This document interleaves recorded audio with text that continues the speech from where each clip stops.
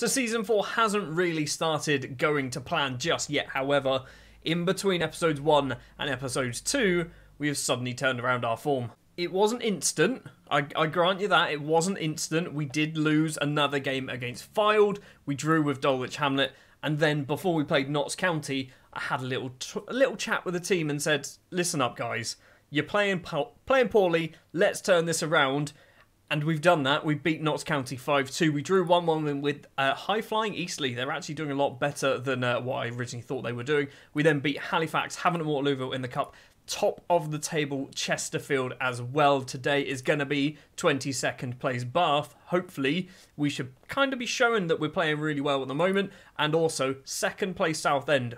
Basically, one poor team, one good team. We're probably going to beat Southend and lose against Bath. In other news as well, we have had our takeover. It has literally just happened. If we go to Club Vision, I think, and this is the easiest way to tell, we've played two matches since this happened. So before the Havant and Louisville game is when it happened. And so far, we've played two matches. They're quite happy with it. Before the takeover, we were on a D rating. We're currently on a C. Let's jump into match number one. The starting lineup then, we are going for the 5-2-3 formation. It's going to be Stewart in goal, Orr Pambu and Hennigan at the back. Gary Davies and Silko Thomas as our wingbacks. Davies has come in ahead of Lewis Payne because Lewis Payne hasn't been very good. Davies is doing okay at the moment. It's going to be Paul Searle and Dan Malone in midfield. McAnuff, Spong and Laird as our strikers. I've played this team ever since we beat Notts County for the most part. There's been the odd change here or there due to fitness, but this is our starting 11. And I kind of feel bad for players like Zach Brown, who at the end of last season, his contract was expiring. I managed to get him to sign a new deal, and now he's probably not going to be playing too much for us. Lewis Payne as well is another one where I think he's good enough to play for us, but if Gary Davies keeps doing the job, Gary Davies keeps getting the game. So we are then in our home kit wearing the white, Bath wearing the blue and red looking like a poor man's Barcelona, apparently. One thing that you've probably noticed as well Malone is playing in midfield. He is not happy. He was basically starting to throw his toys out of the pram because he wanted to play more football. So we've started to do that. And since we've started to do that, the results have kind of changed around. So he does seem to be quite like an important person in our team. However, he's still not happy at the moment. He should suddenly click over and go, hold on, I've played the last 15 games in a row. I'm happy with football. Anyway, 14 minutes on the clock against Bath, and they are coming forward with the ball over the top. Neil's one on one with the keeper. Stewart makes a good save, concedes the corner, but stops Bath from taking the lead. It is going to be a corner, though, that we are going to see on the right hand side, left footed from Simpson towards the back post. It's controlled from Diabate at the back post. Searle tackles, Davies clears. Counter attack? Nope, we're not going to get there first. It's lumped back in. It's all forward to McAnuff. Zach Orr, by the way, I think he's got like two under 21 caps for Nigeria now, which is actually quite impressive for a player who isn't very good. Well, it's not really started particularly well, has it? We've had two shots, but an XG of 0.04. Bath had six, two on target, seven now with an XG of 0.87. We are not playing well. What suddenly happened? What's, I know what's happened. I've hit record. That's what's happened. And Football Manager has decided, you know what, you're not going to win any more games. Upward to Neil with the ball. H Neil. Back to upward. Neil again. Now J Neil. Back to upward again. What are they doing? These three are just passing between them. Rains has managed to break past the defender. His effort isn't very good. Goes wide of the goalkeeper's post. It's going to be hopefully nil-nil at half time. And we need to have a little bit of a conversation, team because we have been absolutely appalling, haven't we? Defensively, we're okay. We're okay. We've not taken anywhere anywhere enough shots. Anywhere enough shots, sure thing. Um, I'm furious with your. It's not. I'm not furious with your finishing. I'm furious with the fact you're not even taking shots. Right? Do we do that and just say, you know what? When you get near the goal, do what you want, lads. Or do we say shoot on sight? Pump it up to a, a bit of positive as well. This is a team 22nd in the table. 22nd in the table, we should be beating them. We are currently 7th, dropping down to 8th place by the looks of it because Woking have leapt over the top of us. A win will put us best, basically what I think will be 5th with a win, maybe, possibly 6th. Well, since half time, not a lot of chances going on highlights at the very least, but we are having some shots on target. Two of them, still an XG of 0.09. It's going to be another poor performance, isn't it? It's a throw for Silko Thomas to Jack Spong. 15 minutes of normal time to play. Malone crosses the ball in, does finds McAnuff at the back post. Jordan McAnuff has scored four goals in his last five games. I don't know what's happened to McAnuff, We've taken the lead. Jordan is very, very happy with that goal. I'm very happy as well. We need to do some subs. We really need to do some subs because uh, I've just seen our condition. And uh, yeah, we are playing a game in a couple of days' time as well. Laird is coming off for Street. We're going to do Spong as well for... What do we do here? What do we do here? Do we do... Have we got... A, we've got no wingers. I mean, I feel like this is not the ideal. This this is not what we should be doing, but we're going to go for that. We're going to put Zach Brown. Oh, we're doing far too many changes. I don't like it. Three changes then. Leon Pambu needs to come off. He is very poor. We can't do that. Gary needs to carry on. Pambu's coming off for... I mean, I feel like Lewis Payne kind of works in that central defence position. Gary Davies on a 6-3 is a very lucky boy. Pambu is playing so well. I didn't want to bring him off, but that fitness is a massive concern. We are going to shut up shop, go to cautious. Hopefully, we can uh, just see out the result, pick up the three points. Thomas to Malone. Forward again to Thomas. Left hand side is McAnuff, the goal scorer. Back to Hennigan. Where are we going, lads? Malone to Payne to Brown. Back to Payne. Where are we going? All the way back to the goalkeeper. What's happening with this highlight? Stewart to Zach Orr. Forward to Zach Brown. Now Searle, he's not going to get there. And now the counter attack for Bath is on. Upward on the halfway line. Harrison Neal. Ball forward. Finds Cox. Straight through the defence make the save. He does make the save. It's a very good save from the Scottish goalkeeper. It is going to stay 1 0 for the moment. We do need to defend this corner. Simpson, left footed corner from the left hand side towards the back post. And Rafferty's there making it 1 1. We can't buy a win on camera. Looking at the match stats, Bath have deserved this. Bath have definitely deserved this. They've been the better side. How have we done so badly? How have we done so badly? Again, we played well. Malone 7-4, Searle 7-2, McAnuff 7-3. I think Pambu, what's it, 7-5 for Pambu, 7-2 for the goalkeeper. We still concede a late goal, don't we? So 15 games into the season, we are just outside of the playoff spots. I said this in episode 1 that we need to be getting playoffs as a minimum. We are close. We are definitely close. We're now going to go forward and it's third place Southend next. Lovely. We might win that one though. For match number two away from home against Southend, we have to do a fair amount of changes because of fitness. So it's going to be Stewart in goal, Payne, Wakely, and Hennigan in defence, Davies and Thomas as our wing backs, Brown and Malone in midfield, McAnuff the goal scorer as our right winger, Kiddo Taylor Hart on the left, Rob Street as our striker. If we have a quick scroll down, you can see Dean Laird, not very good, fair, tired, high injury risk, Spong, Pambu, Orr and Searle all kind of unfit, so we don't really want to risk too many players. So there's a lot of changes, but there is a lot of opportunity as well for hopefully somebody in this list to make a name for themselves. I'm looking at you, kiddo. Taylor Hart. Him. So, two episodes into season four, and so far we haven't won a single game on camera, and I imagine this one might be going the same way. Southend are a very good side. I think they've obviously just been relegated into the Vanarama National. We are a good team, We're just not putting the like the results together at the moment. Street's there at the back post from McAnuff's cross. Seedon holds on to the ball, but I think Rob Street was offside. Yes, he was. 22 minutes. Wakely's ball forward towards Street. Can't really find him. And Southend now have it. Glover to Freeman. Right hand side is Shimanga.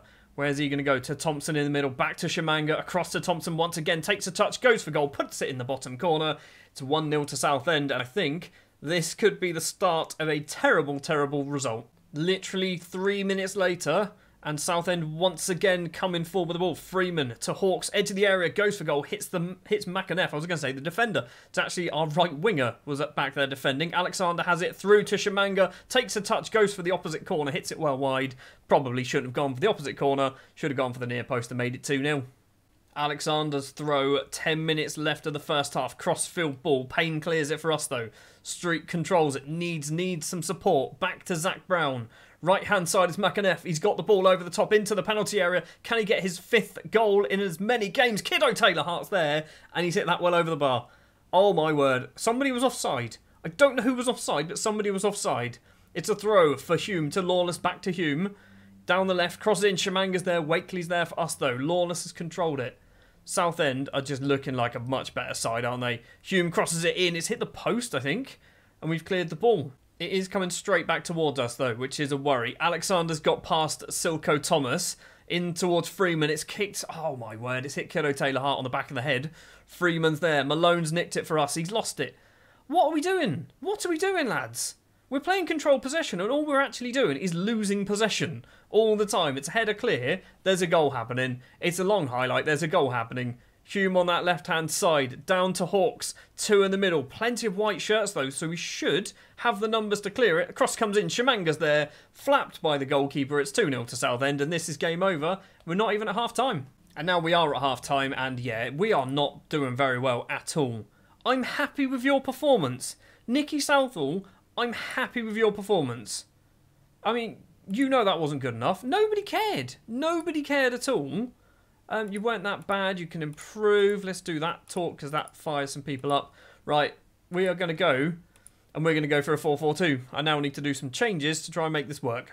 Right, there we go. So, two substitutions at half time. Ralph is coming on, Dean Laird is coming on, Kiddo Taylor Hart and Ben Hennigan going off. It means Silko Thomas is going on to that left wing position. We are obviously Payne and Wakely are going to be our centre backs. Nathan Ralph is uh, going to be our left back. Let's go into the second half and hope that we can get something straight into a highlight straight away. This could be interesting. We are away from home, so arguably I should be playing this formation. This is what I did towards the end of last season, and it kind of worked. Street with the ball, breaks through, doesn't do a very good pass, and it's cleared upfield for Southend. Is this an actual highlight, or is this like a weird highlight because I did some subs at half time? We've got the ball through Davies. He's chested it down straight to a Southend player.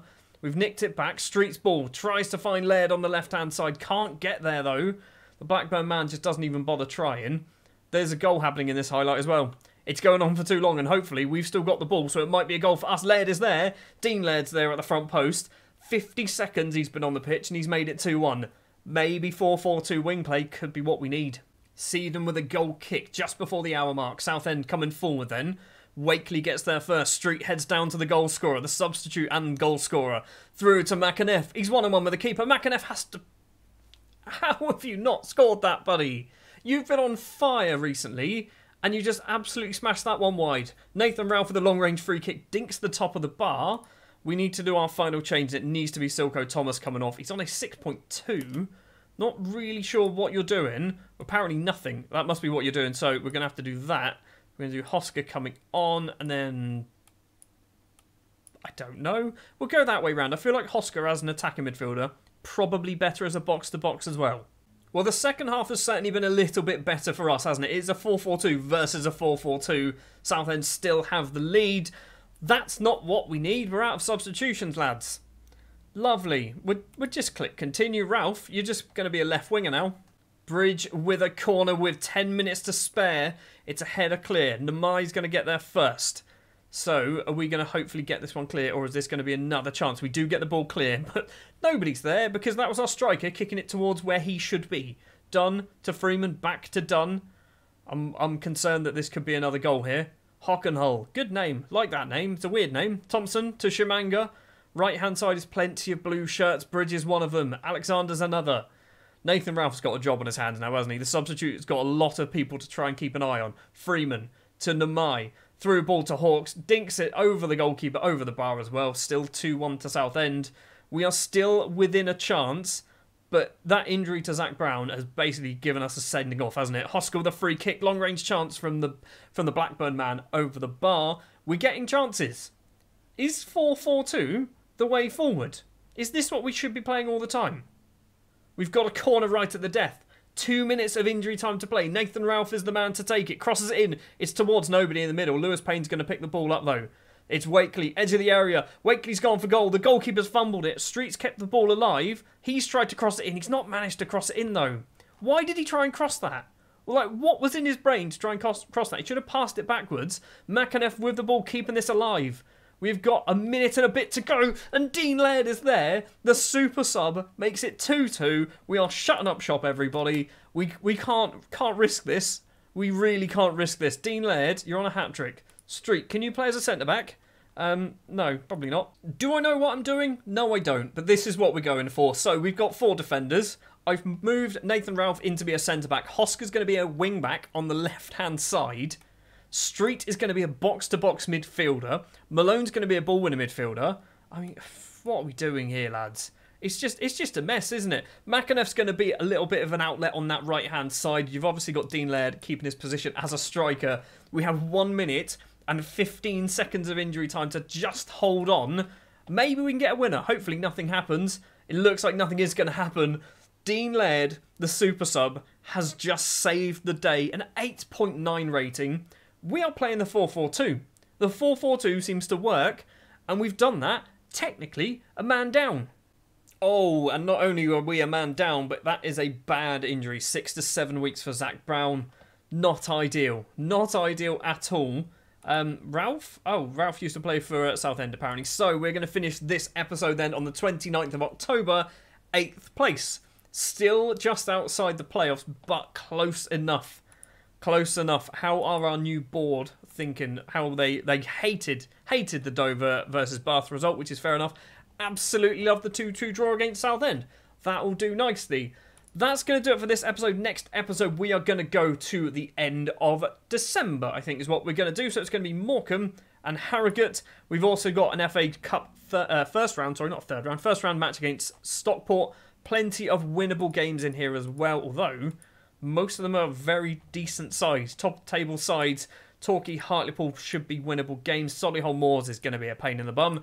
Anyway, that's going to do it. Thank you very much for watching. If you did enjoy, do please remember to leave a like, subscribe to the channel if you are new. I've just seen we've done an unbeaten episode as well. That's a that's worth a like, isn't it?